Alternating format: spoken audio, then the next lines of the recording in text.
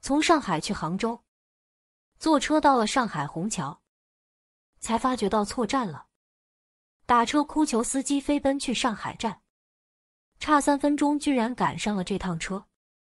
然后半小时后，发现此车也停靠虹桥，持票也可以在虹桥站上车。朋友给我打来电话，祝我生日快乐。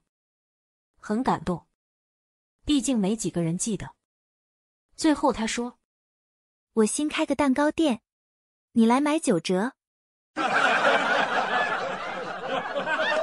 我妈趴在教室窗户上张望，老师出去劝我妈：“这位家长，请您放心，我会看管好您的孩子的。”我妈说。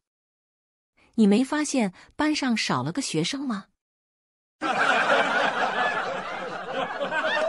下夜班到家，看到老婆衣着睡衣在过道。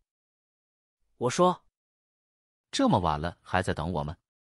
老婆说：“出来倒垃圾，风一吹把门锁上了。”哥们打电话说要给我介绍美女，兴冲冲的去了。一进咖啡馆就看见我老婆和我那哥们。嫂子，我没骗你吧？他准来。